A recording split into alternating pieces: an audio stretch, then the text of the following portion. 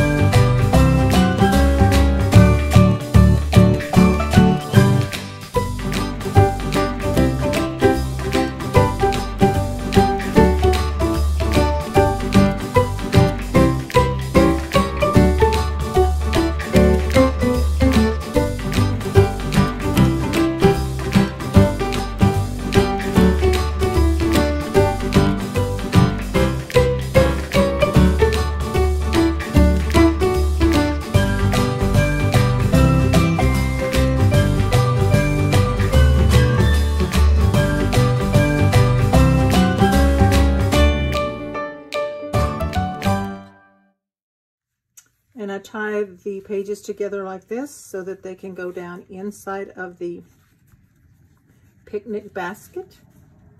So take that and that just fits right in there. So I do have a tutorial, uh, two-part tutorial video on my YouTube channel for this project. Uh, if you haven't already, please subscribe to my channel.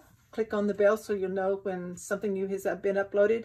Also click on like so that it generates more views for other people. And make sure you check out countrycraftcreations.com online for your crafting supplies. Thanks so much. Bye-bye.